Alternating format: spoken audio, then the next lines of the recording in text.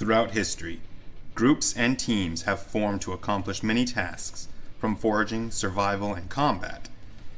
But an age old wisdom is present in all gathered groups. A team is only as strong as its weakest link. Jaune Arc, the knightly leader of Team Juniper, versus! The vehicle destroyer! These two, despite their problems and deficiencies, have both risen to every occasion and emerged better for it. Now, let's see if one of these two can overcome the other. Now, just to point out a few things. Since Volume 5 of RWBY has come out and we finally get to see Jaune's semblance, I will be finally able to complete his character bio sheet in the Gaming Glatorius Combatant database.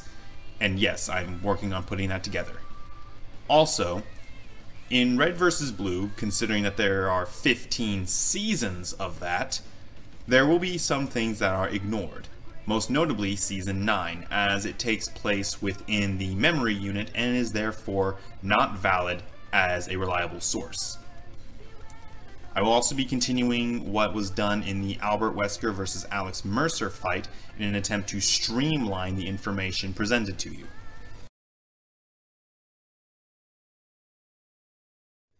Jaune was a man born into expectation. As a descendant of a war hero, he had a massive shadow to climb out of. There was only one problem. Unlike all of his peers, Jaune did not attend a combat prep school prior to entering Beacon Academy. So essentially, he was starting out years behind literally everyone else. But he managed to get in with the assistance of false transcripts. So, he was well on his way to becoming a hero. But he ran into another problem there. He sucked at combat. During his time at Beacon, he became a team leader, had his transcript secret used against him by a bully, began to train under his partner, Pyrrha Nikos, participated in an inter-school tournament, had to watch his school be destroyed, learned that his partner had been killed not long after she revealed that she liked him, and after all of this, went off with his friend Ruby Rose to Haven. Eventually, he made it there, awakened his semblance, and kinda got revenge on Cinder Fall, the one who killed Pyrrha, when Yang's mother defeated her. All in all, a fairly interesting life. Caboose, like all the Blood Gulch crew, was stationed there for good reason. Like his fellow soldiers in that box canyon, he was a pathetic soldier. Assigned to the blue team, he participated in the various hijinks and adventures that went on in the canyon. He killed his team leader Church within a very short time of meeting him, assisted with stopping a few universe-conquering plans, helped put an end to Project Freelancer and by extension stopping their Frankenstein monster, the Meta, assisted with saving the planet Chorus from a civil war, and stopped a group of evil blues and reds from destroying the Earth. Now, this is a very brief overview, I know, but if I were to try and give a full backstory, that would be its own full video. And right now, we need to start getting into the comparison of these two characters. We will start with Jaune's advantages. First in the category of mind. Now, if you know about Caboose, then you know he has been outright described as the blue being will be known as the stupidest life form in the universe. So it's no surprise that Jaune gets the advantage in intellect, even though Jaune is average in that field at best. Furthermore, Jaune also gets the edge in strategic inclination. He's known for his very clever on-the-spot planning, and the fact that his plans have such an astounding success record does speak for itself. However, the category of mind is not quite as clear-cut as you might think. Caboose does make a comeback in regards to his personality and experience. Psychological balance is a very interesting similarity between these two. They are both devastated individuals. Jaune through the death of Pyrrha Nikos, a death he was completely incapable of preventing or interfering with, and Caboose through the loss of the Epsilon AI fragment. Now, the big difference between the two of them is that we get to see that Jaune has not come to terms with this by the time Volume 5 comes around, considering how he charges at Cinder despite her obvious advantage over him. Caboose, on the other hand, does come to terms with this at the end of Season 15. He has come to terms with the fact that Church isn't coming back. Jaune is still working on doing the same. Now, people will ask how personality factors into this, and the answer is simple. Jaune is known for having issues with his confidence, as well as having self-doubt. He always, to some degree, has a kernel of doubt in his abilities, and this causes that tiny bit of hesitation, that split second that a skilled opponent can capitalize upon and take him out. Caboose has none of this, and in the Chorus trilogy, we get to see that he actually has no fear, no negative emotion at all. Obviously, if you push him hard enough, this changes, but typically it's not the case. And a quote from Deadliest Warrior that really stuck with me and I think really applies to this. They were talking about it in regards to armor, but they said that if you don't have to worry about what your opponent's going to do to you, you can focus upon what you're going to do to them. And I think that this applies to personality as well. As Caboose, will go in without any kind of hesitation holding him back, but Jaune cannot say the same.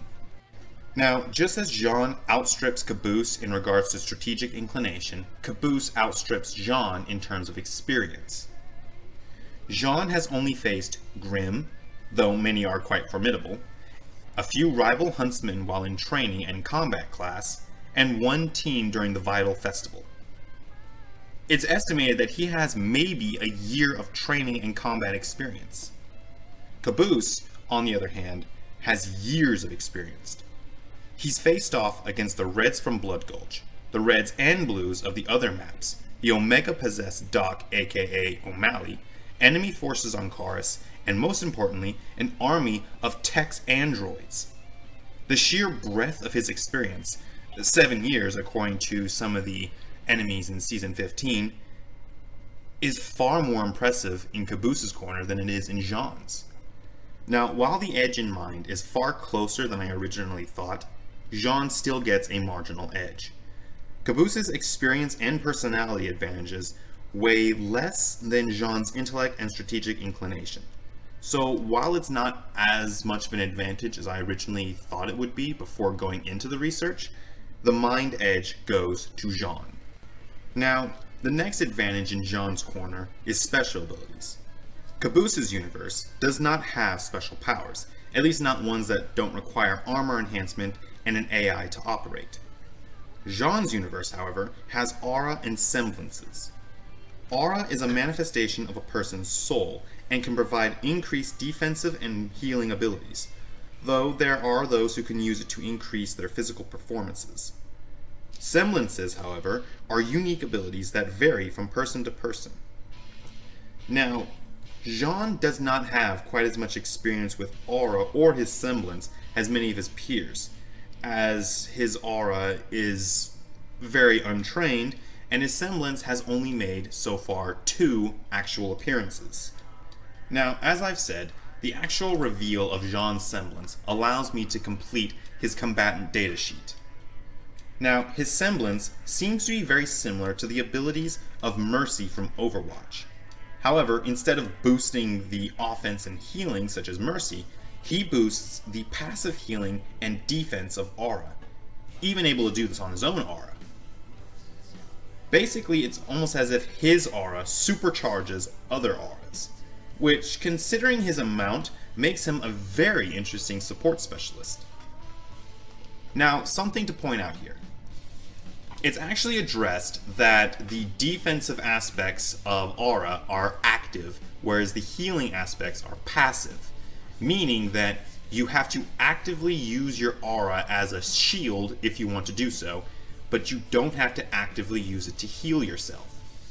So basically, what Jaune was doing with Weiss was pretty understandable. He was basically just empowering her aura to do what it was already passively doing anyway, Whereas as what he did in Forever Fall was an unintentional active action, empowering his Aura's defensive abilities though only doing it by accident and a stretch of the definition of active action.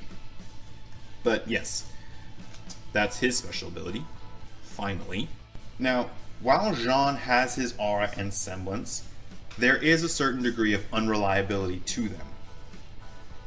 For example, he's not very well practiced with aura, so he's not very skilled at using the active abilities that it bestows. However, hopefully in the near future we'll be able to see Jaune actually practicing with both of these skills in order to become more practiced with them. As it stands right now, it's speculative to say that he would be able to actively use his semblance in combat just on a whim. I'm strongly suspecting that what Jaune did with Weiss was a stress induced situation. And it would actually take training to accomplish the same feat without the external stress factors. But that is just a theory on my part, that is just speculation on my part. We don't know enough about it just yet. As such, I do feel confident though in awarding Jaune the edge in special abilities. Now we cover Caboose's advantages, starting with his equipment and weaponry. Caboose is equipped with Mjolnir Mark V armor, a battle rifle, and a magnum pistol. The armor has an energy shield and can take a very good blast. It can still be overcome by standard equipment of other similarly armed individuals, but its defenses cannot be underestimated. Now, Jaune is bringing his armor medium plate being a good description, that has been improved with metal from the armor of the late Pyrrha Nikos. He has a shield, similarly improved, and his ancestor's sword, Crocea Mors, Probably messing up that pronunciation. Of note, the shield can become either a sheath or an addition to the sword. It can fold around the blade and essentially turn it from a long sword into a broadsword, which is useful if you need to add a bit of extra heft and weight to a sword strike. Now, while Jaune's armor is durable, his shield strong, and his sword versatile and deadly, he's still ultimately a close-range fighter. Caboose has armor that, in the words of Private Simmons, You're wearing state-of-the-art biomechanical body armor. It's designed to deflect bullets and absorb explosions. and firearms capable of both mid to close range use. So it shouldn't come as much of a surprise that I give the edge in equipment and weaponry to Caboose. Which now brings us to Caboose's greatest advantage. Now, Caboose, like Jean, is a sort of secret weapon. However, whereas Jaune leverages this through incredibly effective strategic calls, Caboose does this through sheer physical supremacy. Just to list a few things. In Season 5, Caboose transported a bomb created by Agent Texas, who herself wasn't strong enough to carry it. This is the same Agent Texas who, in Season 1, flipped a Scorpion tank. Now, the actual Halo website describes this tank as easily weighing 30 plus tons. Now, I can acknowledge that there are some extenuating circumstances surrounding this. First, the tank was damaged. Now, following typical game mechanics, a damaged vehicle weighs less than a perfectly intact vehicle, meaning that the tank was probably a lot easier to flip in Season 1 when it was damaged than it would have been if it had been in prime condition. 2. At the time, Agent Texas had the Omega AI. This means that, in all likelihood, she was much stronger at that time than she was in Season 5 when she was hunting Omega. But it is still worth noting that Caboose was strong enough to pick up a device that Agent Texas outright said you're going to need at least two people to carry. That's very impressive to me. Now, two more feats to really hammer home Caboose's strength. In Season 10, he went up against, alongside the other Reds and Blues, an army of Agent Tex's robots. He charged into these robots and sent at least two dozen of them flying. Now, while he was surrounded by these robots, he battered a few around and then uppercut one so hard it left the ground, several feet off the ground. Now, it's been stated that a Spartan wearing Mjolnir armor in total weighs about 1,000 pounds. Now, that's a human, albeit a big human, with improved musculature and bone grafts, stuck inside this suit. So you can imagine what it would be like if you essentially put a Terminator around the size of a Spartan inside a Mjolnir suit, how much more that would weigh. But for the sake of a conservative estimation, we're going to stick with 1,000 pounds just to make things simple. That is still an insane amount of weight for a person to punch and send skyward. Furthermore, in the Chorus trilogy, Caboose, upon entering an alien simulation, experienced a 10 time increase in gravity without noticing. That is some Dragon Ball Z training room kind of stuff, and Caboose took it without noticing. In regards to pain tolerance, Caboose has a number of feats to his name as well. At one point, he had half a gallon of blood drained at once. Now that equals about four pints, or almost half the blood in a human body. Now, fun fact, four pints of blood being drained is considered lethal blood loss. Little fun fact for you. In season 7, he fell hundreds of meters. Now, yes, he hit sand, but one, he was propulsed by a landmine. Two, we didn't hear any landmines by the time we saw Griffin Simmons hit the side of the behemoth, so it took at least a minute for Caboose to be sent up, reach the peak of his arc, and then come back to the ground. And three, sand, like water, is not a good thing to belly flop onto from hundreds of meters up.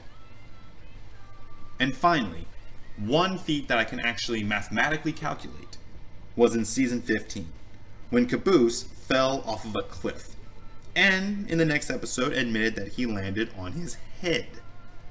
Now, assuming that the planet's gravity is equal to that of Earth's, means that the 3.5 second fall equates to a roughly 60 meter fall onto. Now, Caboose's other physical traits, such as speed and prior injuries, don't really factor in very much. He is in his physical prime, and he does have a number of head injuries that have caused him to become detached from reality. But that's something evaluated in mind where we've already reached our verdict. Now, the thing is, while his opponent, Jaune, is very impressive in regards to real life people of his age, he's not impressive compared to his peers. Jaune, in his teens, is at a point where most people in their late 20s strive to be. And while it is very impressive, and while he is capable of performing feats that normal humans would be in- incapable of doing, he's still a fairly average human. Now, I will agree that Jaune's reflexes are greater. Now, that's something that I will not deny. But there's something interesting about Caboose there. In combat, his reflexes aren't that bad. Like he sharpens when he gets into a fight. As such, it should come as no surprise that I give Caboose the edge in physical ability. Now, something that I typically gloss over in other versus matches that I might end up making its own dedicated category for is combat ability. And I might end up making a fifth category just to cover this, but we're going to go ahead and start that right now. In regards to Jaune, it'd probably be easier to discuss his defensive and offensive abilities. In regards to defense, he was able to deflect a Deathstalker strike in the first volume, and then also deflect a paw strike from an Ursa, basically a bear Grimm. Now, in both these cases, he was smart enough to know not to get into a direct contest of strength. He knows he can't win that, so instead he'll redirect the attack, then flow into the opening in order to counterattack. And on the subject of attacks, his offense is actually pretty impressive. He was able to decapitate that very same Ursa I just mentioned, And later on in the series, while training to a training video sent to him by the late Pyrrha he was able to swing his sword so hard that he created a small air current that ruffled the grass for several meters. While he's not very impressive in regards to his peer group, it should be noted that his peer group all have at least 10 years of experience. Well, in the case of most of them anyway, Ruby is an obvious exception. In regards to Caboose, it'd probably be easier if we discuss his hand-to-hand skills and then his marksmanship. We've already seen his hand-to-hand abilities in the Tex Android fight. Obviously, if you wouldn't want to be on the receiving end of a Jaune Arc sword swing, you definitely don't want to be on the receiving end of a Caboose punch. In marksmanship, I have two feats to discuss. First was the sniper headshot Caboose did on a possessed Sarge early on the series. Now, this was when Church had possessed Sarge in an effort to free Agent Texas from Red Team capture. Caboose, thinking that Sarge had managed to capture Tex again, decided to shoot Sarge in the head from a considerable distance, a feat only matched by someone like Locus during the Chorus trilogy. Furthermore, in Season 6, Caboose was the main contributor to Agent South Dakota's capture. Now, you have to actually watch the clip and time it to see how impressive this feat is.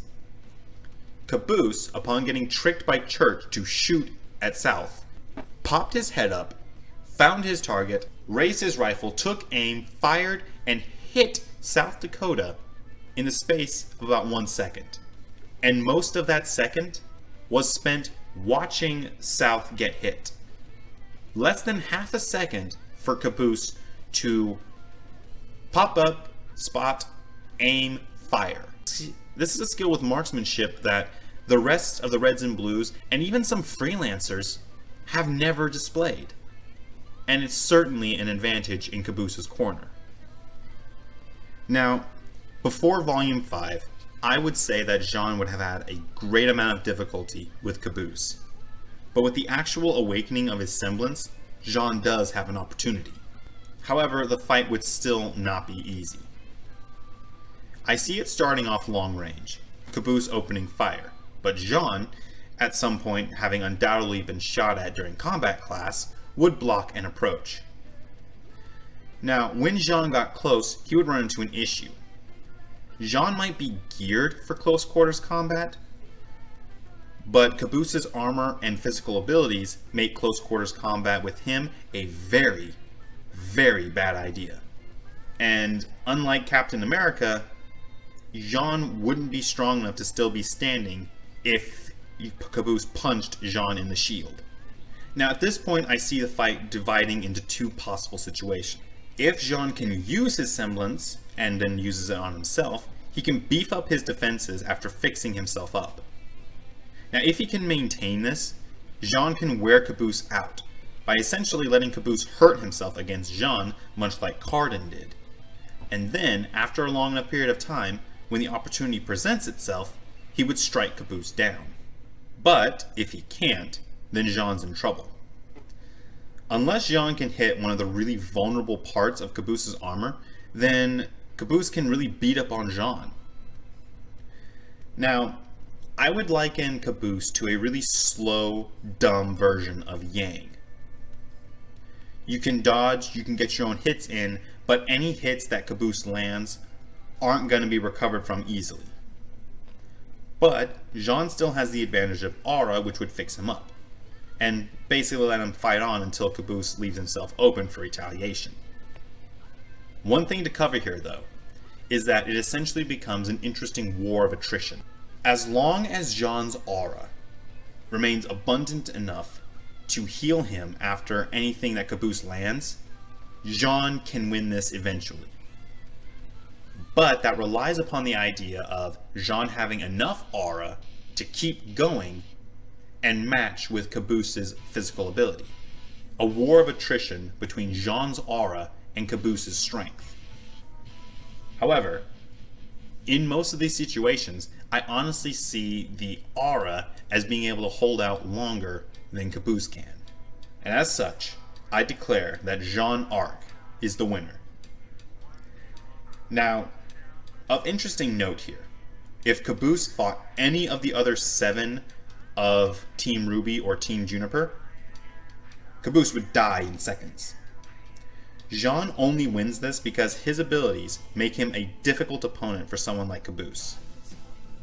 Against most of the Blood Gulch crew, Jaune could probably win with some effort, with the exception of Agent Washington, Agent Carolina, and possibly Tucker. Another fun fact Tucker was actually a potential opponent that I considered for Jaune after starting this research. But since I felt this matchup was more thematically relevant, I stuck with it. Now, just to do a quick recap, Jaune took the mind category by a narrow margin because he was more intelligent and more strategically inclined. But Caboose's larger breadth of experience means that it was a very close matchup, but Jaune still took a marginal advantage there.